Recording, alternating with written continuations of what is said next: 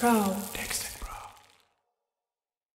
What's up guys, this is Dex and you're watching DexTech Pro. In this video, I'm gonna be talking about the latest update surrounding the PlayStation 5 MTX jailbreak which has now added support for firmware up to 5.50. If you've been following my videos, you know that this is a significant step forward, but there are still some limitations to be aware of.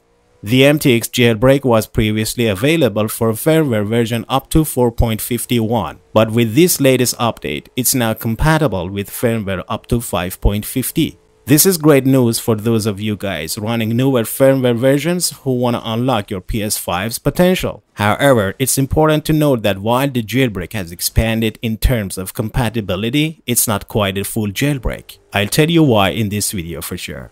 For users running firmware 1x, 2x, the jailbreak is highly stable. There are minimal issues and you can confidently use the jailbreak on these versions without too much worry. But things get a little thicker once you move up to firmware version 3x to 5x. Here, stability becomes more of an issue.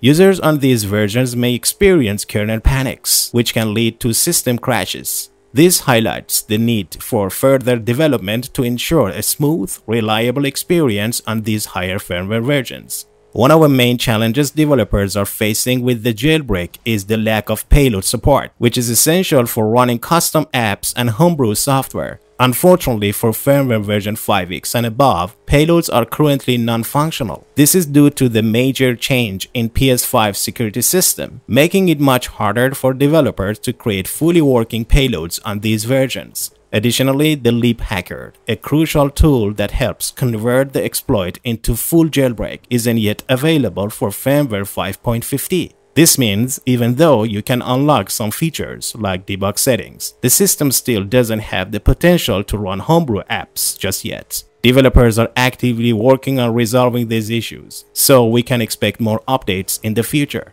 The question is this, why isn't it considered a full jailbreak just yet?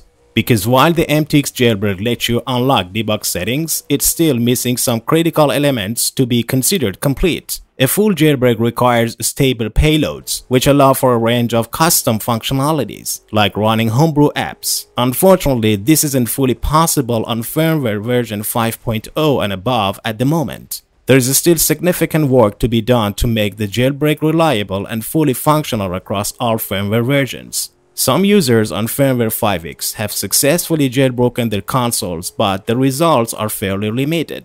For now, they are mostly able to unlock debug settings, but more advanced features like running homebrew apps are still out of reach. So if you're looking for complete system control, it might be worth waiting until the jailbreak becomes more stable and feature-rich. Firmware support has expanded, but we are still waiting on more development for payloads and stability on newer versions. If you're running a lower firmware, you're in a pretty good spot, but you are on 5x or above, you might wanna just wait for more updates before diving into the jailbreak. Be sure to subscribe and hit the notification bell to stay updated with the latest developments and that's the end of the PS5 jailbreak update news in this video. Thanks for watching and have a good one. Subscribe to DexTech Pro YouTube channel.